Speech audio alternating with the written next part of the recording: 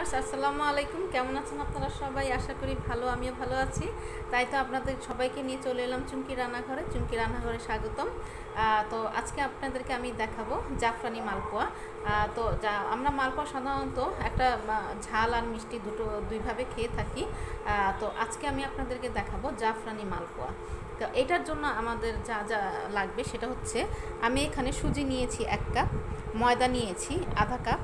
এখানে কিন্তু আটা নিলে হবে না। আটার যে একটা স্মেল সেটা কিন্তু মালপোয়ার মধ্যে ভালো লাগে না। আর চিনি নিয়েছি আমি ওয়ান ফোর্থ কাপ এটা যার যার টেস্ট অনুযায়ী আপনি কমিয়ে বাড়িয়ে নিতে পারেন। ঘি নিয়েছি, আধা টেবিল চা চামচ। লবণ নিয়েছি হাফ পিঞ্চ বেকিং পাউডার নিয়েছি, এক চা চামচ। আর গোলাপ জল নিয়েছি তিন থেকে চার ফোঁটা। আর এখানে আমি নিয়েছি ঘন দুধ। এটা আমি আপনি লিকুইড দুধও নিতে পারেন। একটু গুঁড়া দুধ মিশিয়ে, আবার শুধু গুঁড়া দুধও আপনি হালকা একটু গরম পানি মিশিয়ে নিতে পারেন। আমি এটা নিয়েছি, দেড় কাপ, আর নিয়েছি জাফরান। যেটা মানে অরিজিনাল যে জাফরানটা হয় সেটা সেটা নিয়েছি।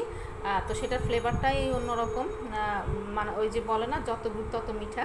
তো সেই সেই অবস্থা আর কি। তো এটাকে আমি ভিজিয়ে রেখেছি। দুধের মধ্যে প্রায় পনেরো মিনিটের মতো আমি হালকা গরম দুধের মধ্যে এটা ভিজিয়ে রেখেছি। তো দেখেন আস্তে আস্তে কিন্তু এটার কালারটা একটু একটু ছাড়ছে। তো আমি এখন যেটা করব, এখন আমি সুজিটা আমি এই দুধের মধ্যে আমি প্রায় দশ মিনিটের মতো ভিজিয়ে রাখব। তো ভিউয়ার্স আমি দুধের মধ্যে সুজিটা সুজিটা ঢেলে দিলাম। তো ঢেলে আমি এটাকে প্রায় দশ মিনিটের মতো আমি এটাকে ভিজিয়ে রাখব। দেখেন জাফরানের যে কালারটা, সেটা কিন্তু খুব ভালোই দেখা যাচ্ছে। তো দশ মিনিট পরে আমি ফিরে আসছি। তো ভিউয়ার্স দশ মিনিট হয়ে গিয়েছে আমার সুজিটা ভিজে গিয়েছে, আর সাথে সাথে জাফরানের রঙটাও আরও একটু খুলেছে। যে দেখতে পাচ্ছেন কালারটা। তো এই জাফরানের এখনই যে একটা স্মেল মানে আমি পাচ্ছি তো এটা একমাত্র জাফরান দিয়ে করলে আপনারা বুঝতে পারবেন। আমাদের সবার ঘরে এখন কোনো না কোনো মানে ভাবে জাফরান আমরা একটু রেখেই দিই। তো এক পিঞ্চ এক চিমটি মানে জাফরান মানে আমি যে পরিমাণ করেছি এক চিমটি ব্যবহার করলেই যথেষ্ট। তবে এটা জাফরানের কোয়ালিটি অনুযায়ী তো আমি আবার একটা খুব মানে আপনাদের ভাই নিয়ে এসেছে জাফরানটা অনেক ভালো। তো মোটামুটি এক চিমটি দিলে আমার এই পরিমাণে ভালোই কালার হয়। আর বেশি লাগে না, আবার স্মেলটাও খুব সুন্দর হয়। তো এখন আমি এখানে দিয়ে দিচ্ছি ময়দা। এখন সব আমি একবারে দিয়ে দিব। বেকিং পাউডার দিয়ে দিচ্ছি। দিয়ে দিচ্ছি একটু লবণ। দিয়ে দিচ্ছি গোলাপ জল। দিয়ে দিচ্ছি ঘি। বাস আমার উপকরণ এটুকুই।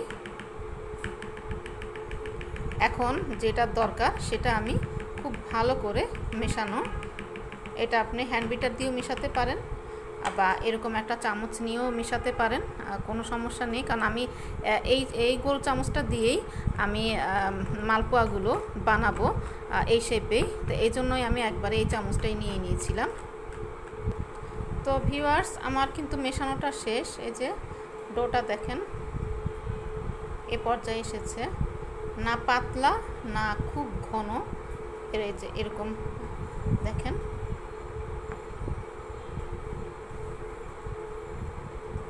তো এখন সরাসরি ভাজতে চলে যাচ্ছি। চলেন, এবার চুমকি রান্নাঘরে চলে যাই। তো ভিউয়ার্স আমার তেলটা অলরেডি গরম হয়ে গিয়েছে।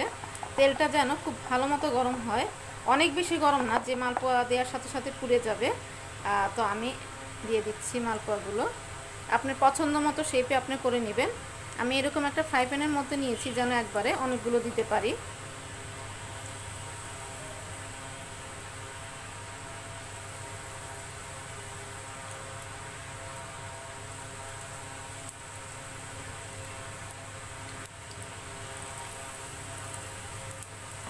আমি খুব একটা বড় করলাম না।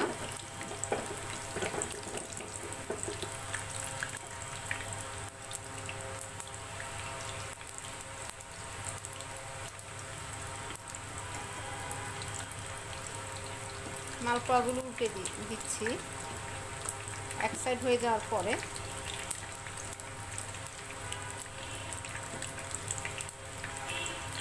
এগুলো কিন্তু বেশ ফুলে উঠেছে।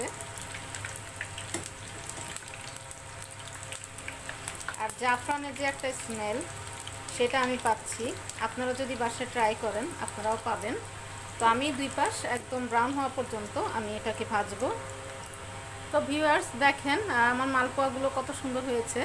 তো আমি এখন এই কালারটা চলে এসেছে। তো আমি এখন এগুলোকে এরকম একটা স্ট্রেনারে টিস্যু দিয়ে রেখেছিলাম। তো আমি এখন এগুলোকে উঠিয়ে নিচ্ছি।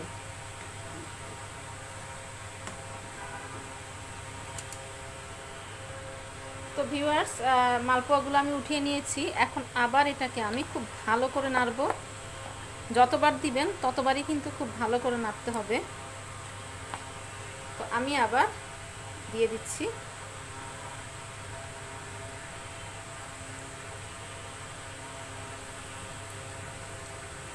একটু দূরে দূরে করে দিবেন, নাহলে একটার সাথে একটা লেগে যাওয়ার সম্ভাবনা থাকে।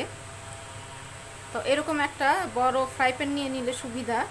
যে একসাথে অনেকগুলো দিয়ে দেওয়া যায়। আপনার গেস্ট যদি অনেক আসে, তাহলে কিন্তু কোনো প্রবলেম নেই। আপনি একবারে অনেকগুলো করে ভেজে তুলে নিতে পারছেন।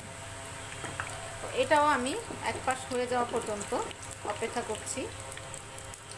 তো এখন আমি মালপোয়াগুলো উল্টে দিচ্ছি।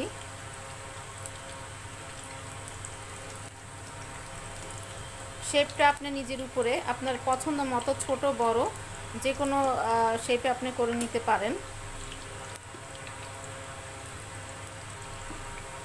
তো আরেক পিঠ আবার একটু হালকা ব্রাউন হওয়া পর্যন্ত অপেক্ষা করছি। তো ভিউয়ার্স আমার মালপোলা মালপো এগুলো হয়ে গিয়েছে। তো দেখেন কালারটা তো আমি এগুলো উঠিয়ে নিচ্ছি। তো আমি কিন্তু সব বানাইনি, কারণ সব বানালে আমার অনেকগুলো হয়ে যেত। তো আমি আমার পরিমাণ যতটুকু দরকার ততটুকুই বানিয়েছি। তো চলেন এবার সার্ভ করি। তো ভিউয়ার্স হয়ে গেল। তো দেখেন কত সুন্দর লাগছে। খেতে কি অসাধারণ এটা যদি আপনারা করেন তখনই বুঝবেন। তো তাহলে হয়ে গেল আমার। এটার কি নাম দেওয়া যায় বলেন তো? এটার সাথে একটু শাহি ব্যাপার স্যাপার আছে যেরকম সুজি ময়দা, চিনির সাথে এটার সাথে কিন্তু আছে জাফরান, আছে গোলাপ জল, আছে ঘি। তো জাফরান, ঘি, গোলাপ জল, তিনটাই কিন্তু শাহি ব্যাপার স্যাপার তো এটার নাম যদি দেওয়া যায়, শাহি মালপোয়া শাহি জাফরানি মালপোয়া। তাহলে কেমন হয়? তো নামটা দিয়েই ফেললাম শাহি জাফরানি মালপোয়া। তো আপনারা বাসায় ট্রাই করে দেখবেন। এটা দেখতে যেমন অসাধারণ, খেতেও কিন্তু অসাধারণ টেস্ট আর আপনারা কিন্তু যে কোনো সময় মানে আপনি এটা ঝটপট করে খেয়ে ফেলতে পারবেন। আর একটা গেস্ট আসলেও তাকেও খুশি করে ফেলতে পারবেন। গেস্টকে বসিয়ে ঝটপট এটা কিন্তু খুব খুব তাড়াতাড়ি সহজে বানিয়ে ফেলা যায়। আর আপনারা যদি ট্রাই করেন, তাহলেই তো চুমকি রান্নাঘরের সার্থকতা প্লিজ আমাকে, আপনারা একটু সাপোর্ট করে যাবেন। আর যারা আমাকে সুন্দর সুন্দর কমেন্টস করে যাচ্ছেন, আমাকে সাপোর্ট করে যাচ্ছেন, তাদের কাছে আমি অনেক কৃতজ্ঞ। আর যারা আমাকে, আমার চ্যানেলটাকে এখনও সাপোর্ট করেননি তাদের কাছে অনুরোধ, প্লিজ আমার চ্যানেলটাকে একটু সাপোর্ট করেন। আমাকে একটু সামনের দিকে এগিয়ে যেতে একটু আমাকে সাহায্য করেন। তবেই তো চুমকি রান্নাঘরের সার্থকতা। তো সবাই ভালো থাকবেন আমাদের জন্য দোয়া করবেন। আপনারা সবাই ভালো থাকবেন। আল্লাহ হাফেজ।